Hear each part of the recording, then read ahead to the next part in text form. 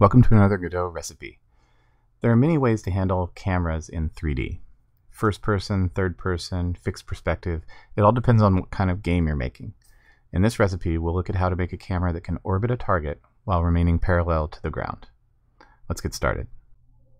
So here we have a camera set up, and then I have this window down here set to show us a preview of what the camera sees. Now let's say I wanted to tilt the camera up a bit to look at something, and then I want to rotate to the side. But when I tilt it back down, I'm now going to be misaligned. And that's usually something you don't want. You want the camera to stay level, always parallel with the ground, regardless of how you rotate or look up and down. You don't want that tilt to happen. And so the solution to this is something called a gimbal. A gimbal is a device that's designed to keep an object always level. Like you would use them on ships back in the old days to keep the to keep a, a flat surface level even as the ship is rocking in the waves. And so we're going to make a scene here and we're going to start with two spatial nodes. So a spatial and then another spatial as a child. And then I'm going to add the camera as a child of that. So the spatial, the outer one, is going to be our camera gimbal. And then the second one is going to be the inner gimbal. So we have the camera is a child of the inner gimbal. The inner gimbal is a child of the camera gimbal. And here's how that's going to work. Let's go back to preview here so we can see what the camera sees. Uh, I'm going to take the camera and I'm going to just set its transform the Z to about 4 so it's offset a little bit from, from where the center is. So we're looking towards the origin.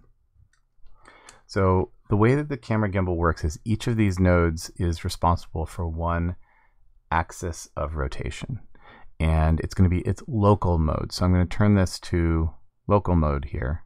So that when we rotate, we're only rotating the nodes local axes, not the global ones.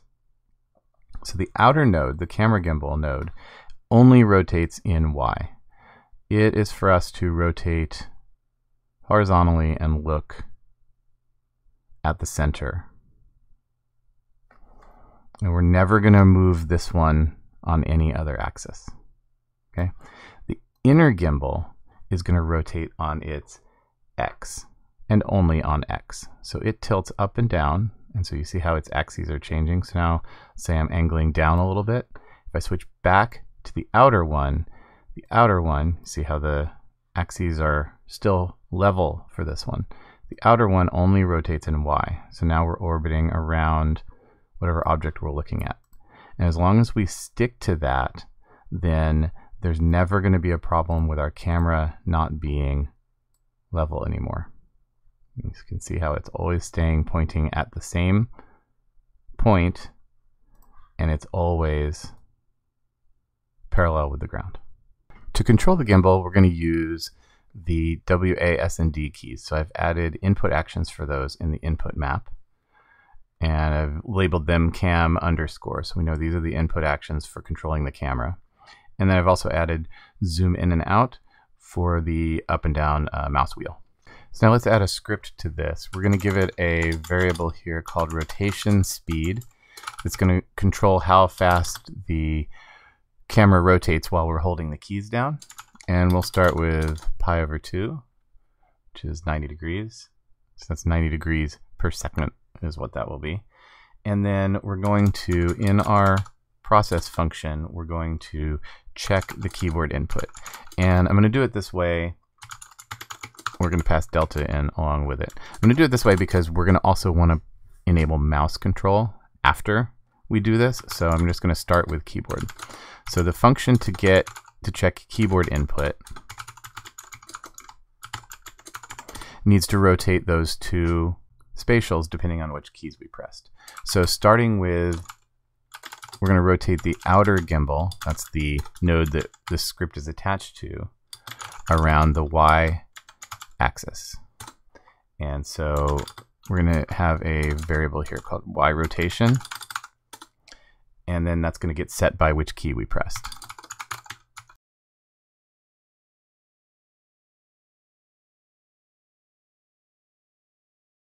So now we can rotate object local, and we want to rotate around the y-axis, and we want to rotate by that y rotation times rotation speed times delta. And then for the inner gimbal, we want to rotate inner gimbal around its local x-axis. So we're going to do the same thing here. I'm going to copy and paste. Because I've copied and pasted the input code, just changed it to the other input keys, and we're rotating around X this time. And once we have that result, we're going to have the inner gimbal, and we're going to rotate object local, but this time around the x-axis, and then by the same amount x rotation and that should do it. Let's give it a try. So here's a test scene I've made with, I made a ground plane and I imported a model so we have something to look at. And then I've instanced the camera gimbal into this scene. So when we play it, we can see that if I press the A and D keys, I will rotate around.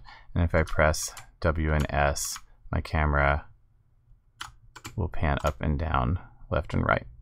So that's exactly what we want. We're staying centered on the center of the ship. But what you'll notice is that since we haven't put any limits on it, you can rotate too far and go completely upside down, which is probably not something that we want. We want to probably stop it around there and maybe stop it at the ground so that you can't rotate too far up and down. We'll fix that in our script.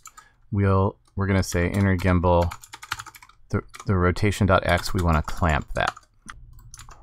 And we want to clamp it between not quite 90 degrees. We don't want to go fully up to 90 degrees. So I'm going to say, let's say around 1.4 and then 0. And what that's going to do is it's going to make it so that when I pan up, that's as far up as I can go. And when I go down, I go straight down to the ground. Now because that plane is there at the exact zero degrees here, we can't see the plane. So you might want to limit it to maybe a very, very small number, something like that, so that you can't go below the surface of the water or the ground or whatever you have. That's totally up to you.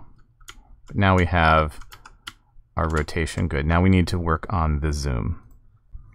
So for zooming, I'm going to have a maximum and a minimum zoom, so we can't zoom in too far or too far away. And we're going to have a zoom speed, how quickly the camera will zoom in and out as we scroll the wheel. And then this variable zoom is going to keep track of our current zoom level so we know what to change. So we're going to capture the zoom with unhandled input. And this is so that we will capture any GUI stuff before this. So you have, if you have a, a GUI overlay when you're scrolling in a scroll box or something like that, you're not also zooming the camera.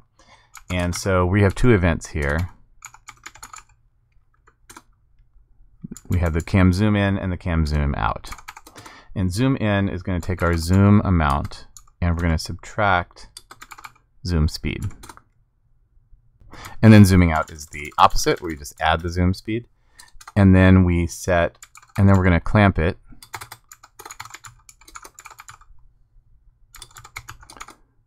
between the minimum and the, and the maximum so it doesn't ever go outside those limits. So how are we going to zoom it? We're going to zoom it by changing the scale of the gimbal system.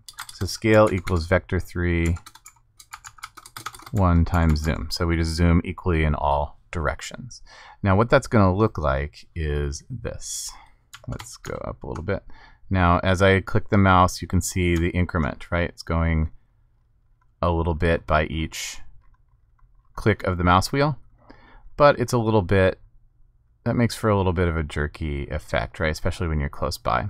So we can make that better by using lerp to interpolate our zoom as it goes. We're going to do that in the process. We'll say scale equals, and we'll lerp the scale up to what we wanted it to lerp to, which was that.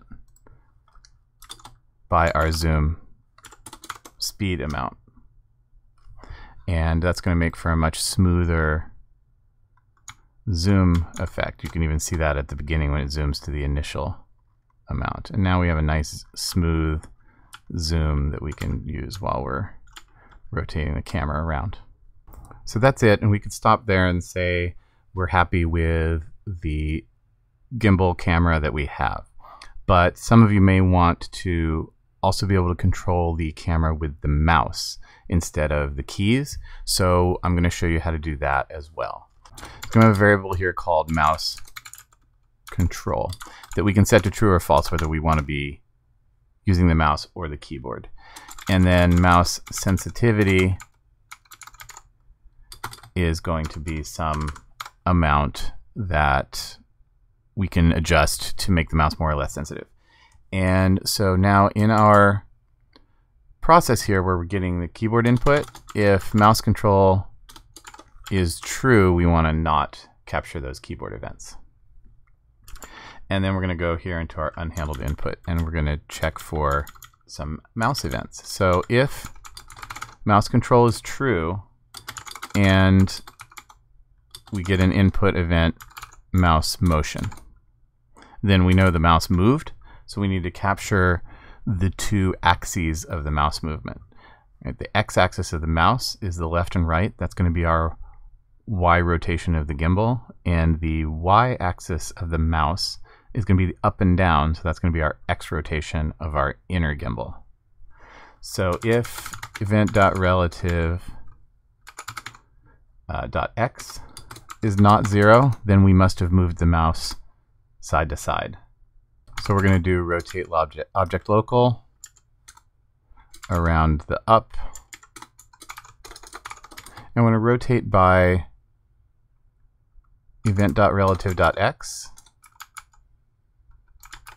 how much we moved the mouse times the mouse sensitivity. And then the alternative is that we move the mouse up and down. So if we also check that,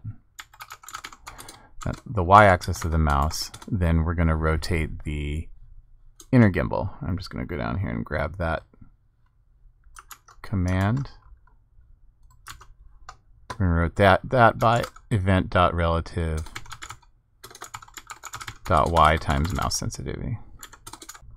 And now if we try this out, you'll see that we can move the mouse up and down, left and right, and control the camera. Now something else you'll notice is that if you move the mouse really quickly, you're going to have a problem with our clamp that's stopping the movement. So if I move up, you can see I'm stopping at the limits. If I move quickly, I can mm-hmm. snap through there.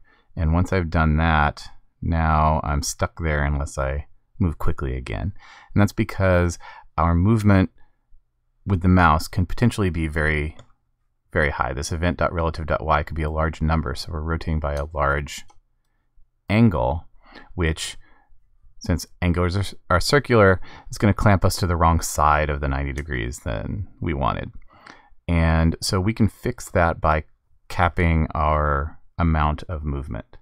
So I'm going to make a variable here, right, y rotation, and it's going to clamp the event.relative.x dot y uh, between two values about there.